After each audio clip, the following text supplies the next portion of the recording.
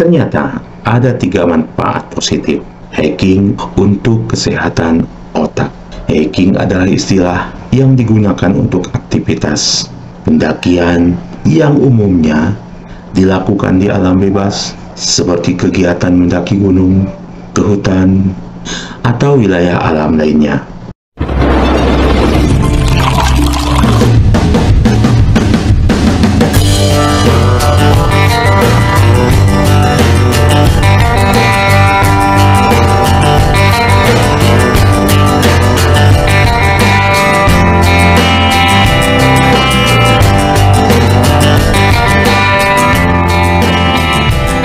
Sobat Alam, kembali lagi bersama saya Rudi Agusman di Gap Channel.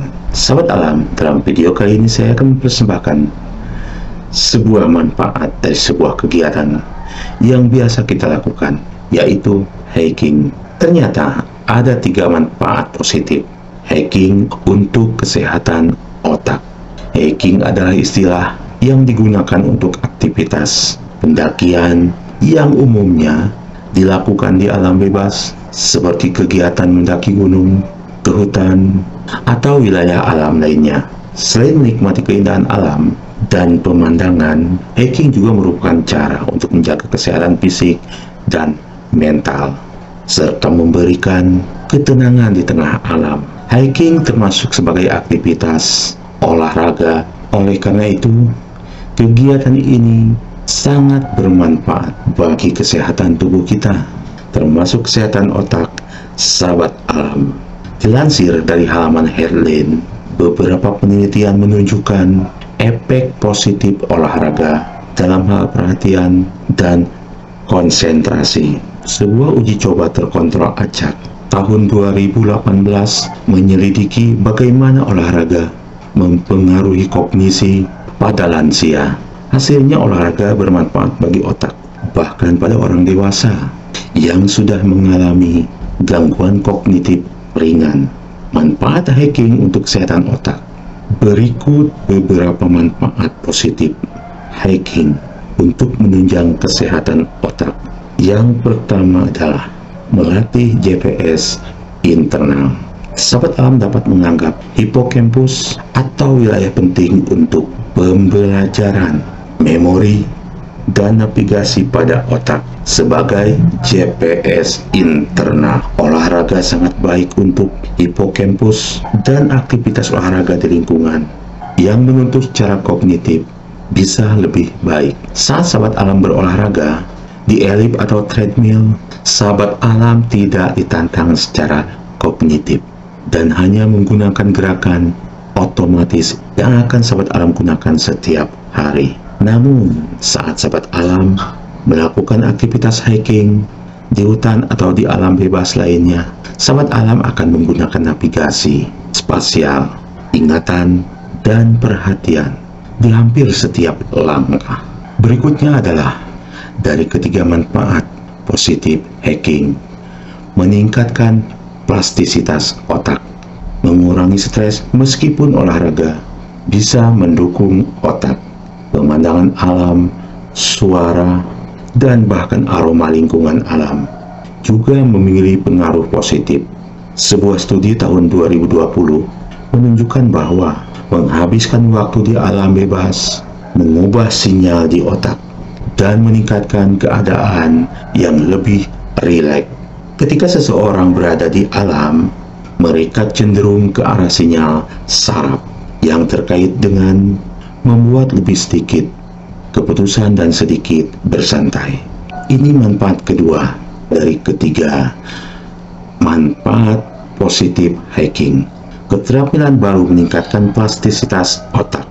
Hiking juga merupakan kesempatan untuk mengasah keterampilan baru yang melibatkan neuroplastisitas adalah kekuatan super kita dari sistem saraf kita yang membedakan dari hewan lain. Saat mendaki, sahabat alam bisa melatih otak lebih lanjut dengan belajar menggunakan kompas atau melatih insting dan cara bertahan hidup di alam bebas. Manfaat yang ketiga, positif melakukan kegiatan hiking adalah bisa mengurangi stres. Mengurangi stres meskipun olahraga bisa mendukung otak, pemandangan alam, suara, dan bahkan aroma lingkungan alam sekitar juga memiliki pengaruh positif. Sebuah studi tahun 2020 menunjukkan bahwa menghabiskan waktu di alam bebas mengubah sinyal di otak dan meningkatkan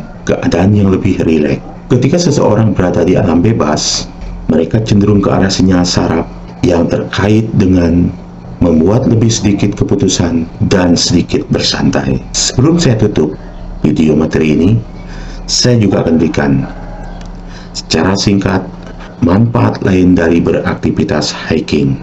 Selain bermanfaat bagi kesehatan otak sahabat alam, kegiatan hiking juga memiliki sejumlah manfaat lainnya sebagaimana dikutip dari laman Cleveland Clinic berikut ini mengurangi resiko penyakit jantung menurunkan tekanan darah juga bisa menurunkan gula darah bagi penderita diabetes. Bisa mengatasi obesitas? Pasti. Karena saat sahabat alam berkegiatan hiking semua organ tubuh kita bergerak. Bisa juga mengurangi cemasan dan depresi.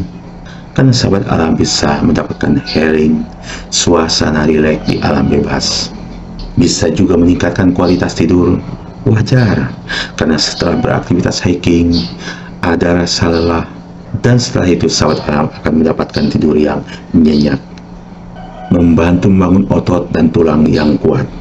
Wajar karena kegiatan aktivitas hiking juga merupakan olahraga, di mana organ-organ tubuh kita, fisik kita dilatih untuk bergerak.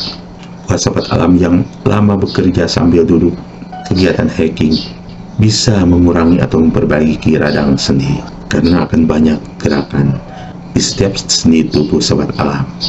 Dan yang terakhir, manfaat lain dari aktivitas hiking adalah melatih insting dan keseimbangan yang indah di sekitar kita seperti pemandangan di belakang saya ini tentu sahabat alam akan nikmati kalau sahabat alam keluar dari zona aman dan lakukan aktivitas di alam bebas seperti kegiatan aktivitas hiking.